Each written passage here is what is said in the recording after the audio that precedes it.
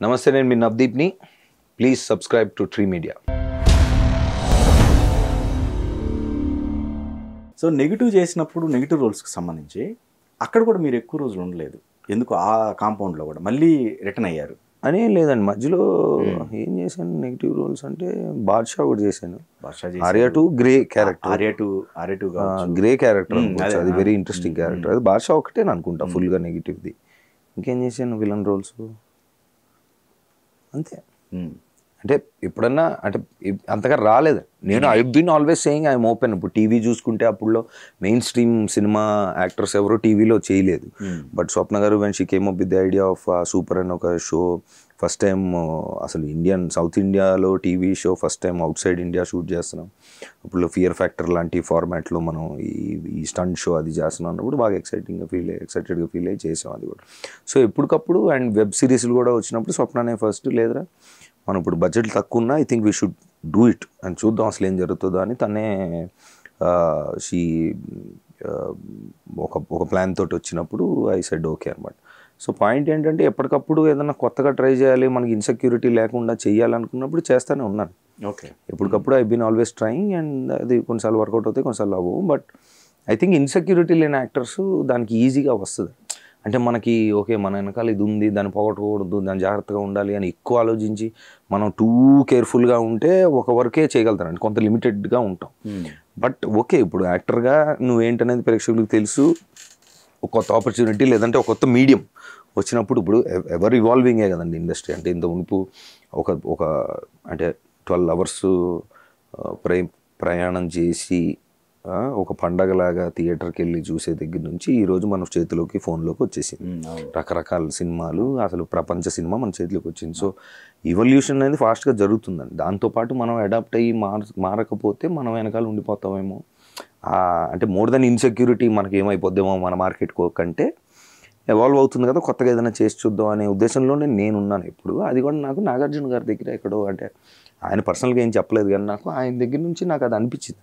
Okay. అంటే ఆయన చాలా సినిమాల్లో అప్పుడులో ఈ వేరే అంటే ఒక సూపర్ అంటే టాప్ ఫోర్లో ఉన్న ఆయన చాలామంది అంటే కొంత వేరే రకం వేరే సినిమాల్లో క్యారెక్టర్లు చేయడం గెస్ట్ రోల్ చేయడం ఇలాంటివి ఎప్పుడు నాకు ఆయన చేసేవాళ్ళు అనేది నాకు అంటే నా టైంలో. నేను వచ్చినప్పుడు అది ఎక్కువ చూశాను. ఏంటి ఎవరు చేరి ఎక్కడ ఎందుకు చేస్తున్నారు అని చూసినప్పుడు ఆయన ఒకటి రెండు సార్లు బయట కలిసినప్పుడు నాకు ఎక్కడో ఆయనలో ఇన్సెక్యూరిటీ ఏం లేదు. చాలా కూల్గా ఉన్నారు ఈయన.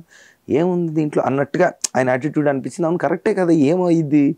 ప్రేక్షకులు ఏం ఇప్పుడు ఉద్దేశం ఏంటో తెలుసు కదా. ఇప్పుడు ఆయనకి లేక చేయట్లేదు. ఆయనకు అవసరమై చేయట్లేదు. ఆయనకి ఏదో సరదాగా ఎవరో అడిగారనో లేదంటే ఆ క్యారెక్టర్ నచ్చిందనో లేదంటే ఇప్పుడు అప్పుడే హాలీ హాలీవుడ్ సినిమాల్లో పెద్ద హీరో ఏదో ఒక దాంట్లో రోల్ చేస్తారు. అలాంటి కొన్ని రీమేక్లు ఏవో చేశారు ఆ టైంలో ఆయన so okay this man has no insecurity. అవును ఏంటైతే ఇప్పుడు అన్నట్టుగా ఉన్నారు కదా అవును కరెక్ట్ ఇలా ఉండొచ్చు కదా అని. ఎక్కడో సబ్ కాన్షియస్గా ఆయనది అది అది పట్టుకున్నాను నేను ఎక్కడో. ఫాలో అయ్యారు. అది దాంట్లోంచి కూడా కొంత వచ్చిందని చెప్పొచ్చు నేను. కానీ మీ కెరీర్లో అండి అతి తక్కువ డేస్లో చేసిన సినిమా అంటే ఆర్జీవ్ గారిదేగా? అంతే మూడున్నర రోజులు నాలుగు రోజులు. Four and half to five డేస్లో చేశారు సినిమా. మీరు ఎక్స్పెక్ట్ చేయలేదా? ఫస్ట్ కమిట్ అయినప్పుడు చెప్పారు చెప్పారు. చెప్పారా? ఫస్ట్ ఒక వేరే కథ అనుకున్నాము ఆ కథ గురించి మాట్లాడుకున్నాం రెండు మూడు రోజుల తర్వాత ఆ కథ అయ్యేలోపు ఇంకొక ఐడియా వచ్చింది చేసేద్దాం అన్నారు. సర్లే ఏంటంటే అప్పుడు ఒక హాలీవుడ్ సినిమా ఒకటి ఉంది. దాన్ని ఎగ్జాంపుల్గా తీసుకొని అవును వాళ్ళు చేశారు కదా మనం ఎందుకు చేయలేం? మనకు కూడా ఇది ఉంది కదా అని సర్లే ఓకే కరెంట్ అని చేసాము. చేసిన చూసాము. చూసిన తర్వాత అంటే అక్కడే షూట్ జరిగేది. సాయంత్రం డబ్బింగ్ ఎడిటింగ్ అంత పై రూమ్లో జరిగేది. మొత్తం అంత సినిమా చూసుకొని ఇలాంటి మూమెంట్లు ఇంకొక రెండు వస్తే బాగుంటాయి అని చెప్పి ఇంకో రెండు రోజులు one day half day shoot ఏదో చేసాం. అంతా అలా జరిగిపోయింది. ఏం జరుగుతుందో తెలుసుకునే లోపు జరిగిపోయింది. అదొక అదొక అదొక విచిత్రం. మధ్యలో ఏమైనా సినిమాలు వచ్చాయండి? అంటే ఒక మంచి సినిమా కెరియర్లో బ్రే బ్రేక్ వచ్చిన సినిమాలు. అది కరెక్ట్గా ఇది నాకు బ్రేక్ వచ్చేది. అన్న టైంలో మీ దగ్గర నుంచి మిస్ అవ్వటం ఎట్లాంటివి? ఈ- గ్యాప్లో. అలాగే ఇప్పుడు పెద్దగా ఏం జరగలేదు. అంటే మన దగ్గరికి మంచి కథ వస్తే వదిలేసుకున్నది ఎప్పుడు లేదు. ఇన్ఫ్యాక్ట్ కొన్ని అంటే కొన్ని క్యారెక్టర్లు చాలా చెప్తా ఉన్నప్పుడు కొంతమంది హర్ట్ కూడా అయ్యారు. ఇదేంటి ఎందుకు చేయను అంటున్నాడు అది.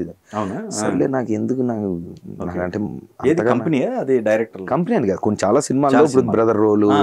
వీళ్ళు సైడ్ రోల్ ఇలాంటివి వచ్చినప్పుడు నాకు ఏంటో అంటే అది చెప్తున్నా కదా ఐదు ఆఫర్ వస్తే ఐదులోంచి ఒకటి చేద్దాంలే అనుకొని చేసేవాడు. ఆ. మిగతా నలుగురు నాలుగు కొంచెం ఇబ్బంది. ఎందుకు? రీసెంట్గా కూడా జరిగినాయి అవి. బట్ ఐ వాజ్ లైక్ అంత మనకి నచ్చకుండా ఇప్పుడు నిన్ను ప్లీజ్ చేయడానికి నాకు వస్తుంది. నాకేం వస్తుంది? అయ్యే చేశాను నేను చిన్నప్పుడు. రైట్ అది నేను నో చెప్పలేక నేను చాలా సినిమాలు చేసి ఆ తర్వాత నేను ఎందుకురా ఇప్పుడు ఇది వాళ్ళు బాగానే ఉన్నారు నువ్వు బాగానే ఉన్నావు. ఆ టైంలో నువ్వు అన్నా బాగానే ఉండేదేమో ఎందుకులే అనుకొని నేను నాకు నో చెప్పడం అనేది నాకు తొందరగా చెప్పి ఉండాల్సిందని నేను ఫీల్ అయ్యి తర్వాత ఈ మధ్య కొంచెం నేర్చుకున్నాండి వద్దులేండి అని ఏదో ఇబ్బంది పడకుండా. ఇబ్బంది ఇబ్బంది వచ్చేది. అంటే అప్పుడు వయసు కూడా చాలా తక్కువ కదా. అంటే అప్పుడు నీకు తెలియదు అన్నయ్య ఇలా ఉంటుంది ఇలా ఉండాలి అది ఇది అని చెప్పి సర్లే ఓకే ఓకే అనుకున్నా. బట్ అలా మిస్ అయిన సినిమాలు పెద్దగా ఏం లేవు. ఏమి లేవు. ఆ ఈడి సిచ్యువేషన్ ఏదైతే ఉందో అది మీ కెరీర్ని అంటే ఒక రకంగా డౌన్ఫాల్ చేసింది దాని కింద చెప్పుకోవాలా? లేకపోతే ఎట్లా. కెరీర్కి ఏం ఎఫెక్ట్ అవ్వలేదా? అస్సలు. జీరో. అలా చూసుకుంటే అది అసలు అంటే ఇప్పుడు ఫస్ట్ టైం జరిగినప్పుడు ఓ అమ్మో ఇదేదో ఉందేమో. అని జనాలకు కానీ తెలియని వాళ్ళకి కానీ ఇండస్ట్రీ వాళ్ళకి అయితే చాలా క్లియర్ క్లియర్గా చాలా వాళ్ళకి ఎవరికి ఏం లింక్ ఉందో ఎవరి ఇప్పుడు ఎవరు ఏం చేస్తున్నారని అందరికీ తెలుసు. అట్లీస్ట్ ప్రజలకు తెలియకపోయినా మీకు తెలియకపోయినా రైట్ మాకు తెలుస్తుంది కదా. మా ఇండస్ట్రీలో పెళ్ళి మామూలు మాకైతే తెలుసు వాడు ఏంటి వాడు ఎలాంటి వాడు? వాడు ఏం చేశాడు? ఎందుకు ఆడి పేరు వచ్చింది? ఏంటి అనేది అందరికీ తెలుసు.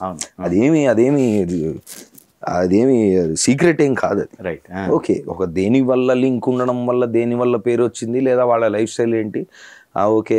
దీనివల్ల అయి ఉంటుంది అనేది ఎవరికైనా తెలుసండి మాలో. సో ఐ డోంట్ థింక్ నేననే కాదు. మిగతా ఎన్ని పేర్లైనా ఎన్నిసార్లు అయినా ఏదైనా ఐ డోంట్ థింక్ ఇండస్ట్రీలో ఛాన్సులు అనేవి దానివల్ల అంటే ఇప్పుడు నిజంగా ఏదన్నా ఏదన్నా తప్పు వ్యాపారంలో ఉన్నవాడు యాక్టర్ అవుదాం అనుకుంటున్నాడు అంటే పక్కన పెట్టేస్తారు. అది తెలిసిపోద్ది. ఒక ఈ doesn't want be an actor వాడేదో ఫేమ్ కోసం చేస్తున్నాడు కానీ ఆడి ఒరిజినాలిటీ వేరు అని తెలిస్తే అప్పుడు దూరం పెడతాడు. బట్ ఇందులో ఉండి ఇక్కడ నుంచి ఇన్ని సంవత్సరాల నుంచి ఉండి ఇంతమందితో పనిచేసి పెద్ద పెద్ద ప్రొడ్యూసర్లు ఫైవ్ టైమ్స్ సిక్స్ టైమ్స్ పనిచేసిన వాళ్ళకి వాళ్ళకి తెలియదా right so I don't think career effect అనేది అయితే ఏం లేదు. కాకపోతే ఇప్పుడు ఆ టైంలో గ్యాప్ వచ్చి ఉంటే "ఆ, దీనివల్లే కదా అని అనుకోవడం సహజం. బయట నుంచి చూసినప్పుడు but I I strongly believe that's not career పక్కన పెడతా అండి వీళ్ళంద అర్థం చేసుకున్నారు అనుకున్నాం మరి ఫ్యామిలీ పరంగా కావచ్చు లేకపోతే బంధువుల పరంగా కావచ్చు ఎలాంటి సఫర్ అయ్యి ఉంటారు? ఫ్యామిలీ పరంగా ఫస్ట్ అంటే ఈ ఈ ఫస్ట్లో వీడేంటి ఎందుకు ఊరికే వీడి పేరు వస్తుంది అనేది ఏదన్నా వాళ్ళు ఫీల్ అయినప్పుడు నేను చెప్తా ఉన్నా. అక్కడ జరిగింది ఒకటి వీళ్ళు అనేది ఒకటి ఉంటుంది మీకు అర్థం కాదు ఆ విషయం అంటే ఏదో చెప్తున్నాడులే వీడే అన్ని అదో పనులు చేసి వీడు సర్లే అని అనుకునేవాళ్ళు. ఒకరోజు ఏదో సిచ్యువేషన్లో మా అమ్మ నేను వెళ్ళిన ఒక సిచ్యువేషన్ తర్వాత అయిపోయిన తర్వాత ఇంటికి వెళ్ళిన తర్వాత దాని గురించి పొద్దున్న న్యూస్లు వచ్చినాయి. నన్ను వదిలేసి ఎక్కడికి వెళ్ళావు రాత్రి నన్ను దింపిన తర్వాత అంటే ఎక్కడికి వెళ్ళాం మనం నిన్నే కదా భోజనానికి వెళ్ళొచ్చావు లేదు నువ్వు రాత్రి రేవు పార్టీ అన్నారంటే ఏం మాట్లాడుతున్నావు అన్న? టీవీ చూపెట్టంటే ఇదే మనం రాత్రి వెళ్ళొచ్చింది అన్న. మా అమ్మ షాక్ అయింది. ఇదేంటి అంటే అవును ఇదే మనం రాత్రి వెళ్ళిందంటే దెన్ దేవర్ లైక్ ఇప్పుడు అందులో ఉంటే గానీ అర్థం కాదు కదా. లేకపోతే వీడేదో చెప్తాడులే కహానీలు. ఇప్పుడు ఏ పిల్లలైనా. ఏదైనా చిన్న గొడవ జరిగితే నేను ఏం చేయలేదంటే ఇలాగే చెప్తాడు వీడు. వీడు అంటే అల్లరి పిల్లవాడు అయితే అల్లరి పిల్లవాడు టింకు అయితే వాళ్ళకి ఏమనుకుంటారు? వీడేదో చేశాడు ఊరికి వీడు చెప్తున్నాడు సర్లే వీడిని భరించాలి ఇంకా అని అనుకుంటారు. బట్ వాళ్ళది చూసినప్పుడు దెన్ అక్కడ నుంచి నా మనసు యాక్చువల్లీ నాకు చాలా మంచి అంటే ఒకే ఒకసారి మీడియా విషయంలో నాకు మంచి జరిగిందని చెప్పుకోవాలి. అది జరిగిన తర్వాత మా అమ్మ నాన్న ఇదే జరిగింది ఇలాగే ఉంటుంది. సరే ఓకే నేను చేసింది ఒక వన్ పర్సెంట్ అయితే అక్కడ నైంటీ నైన్ ఉంటుంది. అది ఇది అంటే ఆహా ఓకే అయితే అప్పుడు అర్థమైంది అన్నారు so they are okay. Okay they are okay family ఇప్పుడు ఒకటి రెండు సార్ ఇప్పుడు అంతవరకు ఎందుకంటే ప్రేక్షకులకే తెలుసు.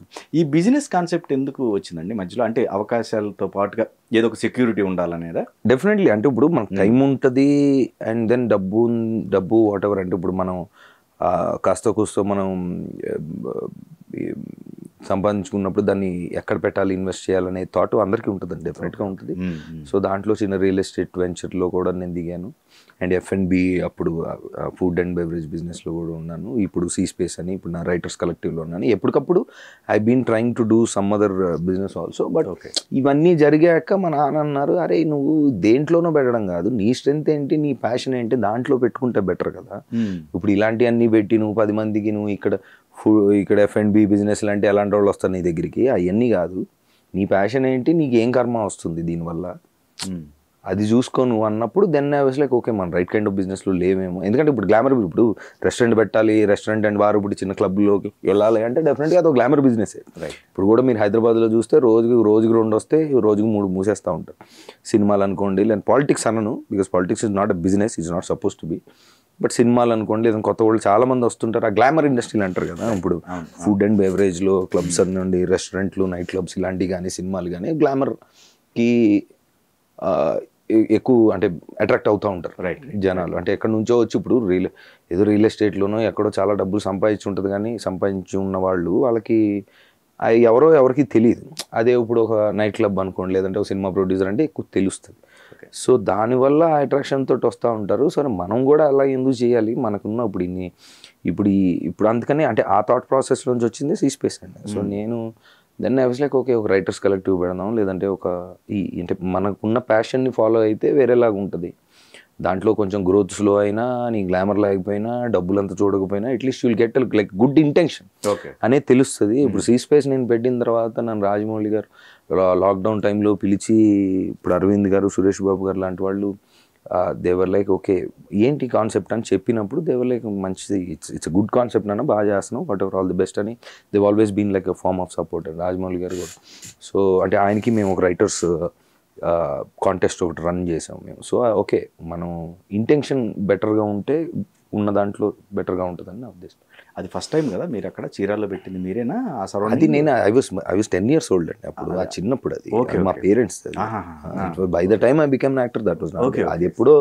That was I think I was ten years old or twelve years బాగా చిన్నప్పుడు. అది ఇప్పుడు మీ హ్యాండ్ ఓవర్లో లేదనుకుంటా కదా? లేదు లేదు, ఇప్పుడు కాదండి. ఓకే ఓకే ఓకే చాలా చిన్నప్పుడు. ఒక రకంగా అదే ఇన్స్పిరేషన్ అయి ఉండొచ్చు మీకు. ఏదన్నా బిజినెస్ పరంగా చూసుకున్నట్టయితే నాన్నగారిది కొన్ని అంటే అది మోర్ ఆఫ్ అది లేదండి. అంటే దానికి దీని అప్పటికి నా మనస్తత్వానికి నా ఎక్స్పోజర్కి తర్వాత టెన్ ఫిఫ్టీన్ ఇయర్స్లో నేను చూసిన దానికి కంప్లీట్లీ వేరే మనిషిని. ఓకే సో మేబీ ఏమో సబ్ కాన్షియస్గా ఏమైనా ఉందేమో కానీ ఐ కాన్షియస్గా అయితే ఐ డోంట్ థింక్స్